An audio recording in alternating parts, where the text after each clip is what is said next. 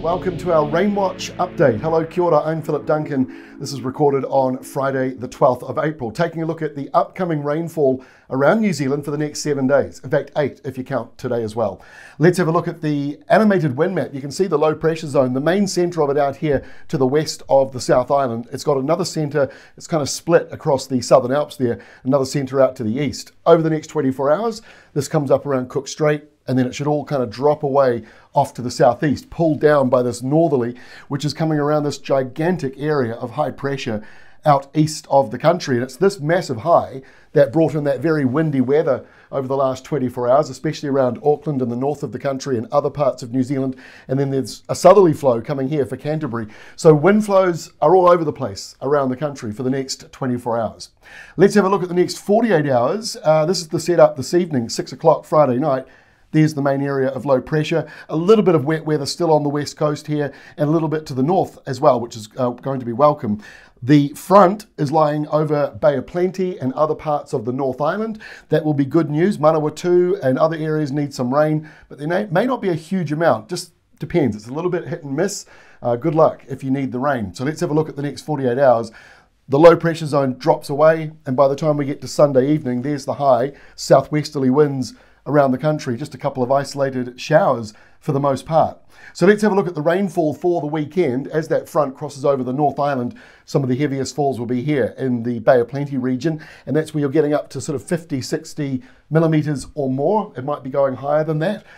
And then elsewhere, it's more broken up because of the mountains, the ranges. So some areas will get a good uh, drink, others may not, like places around uh, Hawke's Bay, perhaps parts of Manawatu as well. And then further down the country, obviously not seeing as much wet weather around Canterbury or the southern part. In fact, Fiordland is the driest part of New Zealand. That's kind of fascinating considering how much rain has been falling over there this week.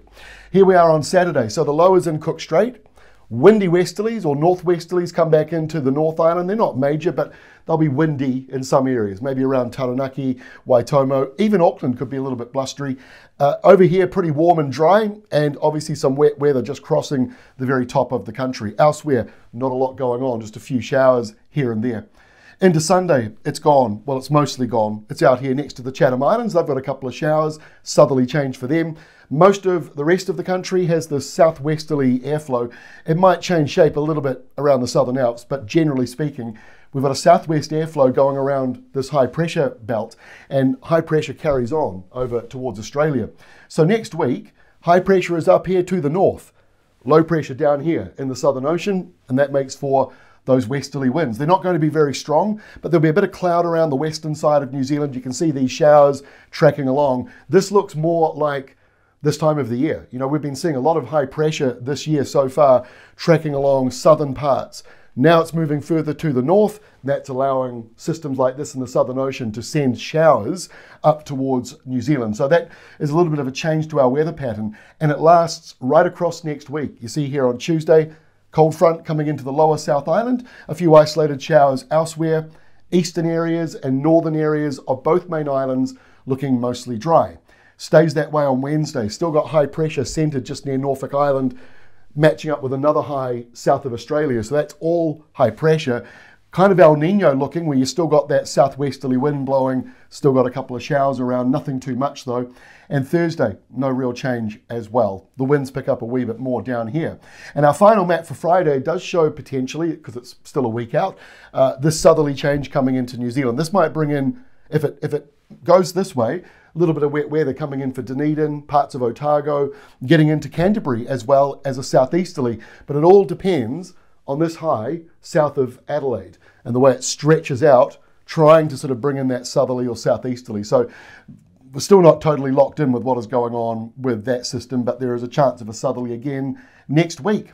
Here is the rainfall for the next seven days coming up. And basically, this does capture the rain that's falling today as well. So you can see in the red shading, that's where we're talking about uh, 50 to 80 millimetres still yet to come through for these areas. So that's Good news if you still need rain. Still has potential for slips though. Further to the north, you got that wet weather in Bay of Plenty. You got those showers building up in the western side, and also some more wet weather for the western side of the South Island. Not a huge amount. Driest areas will be here, here, and clearly around Hawke's Bay. Hawke's Bay and Northland look to be the driest overall.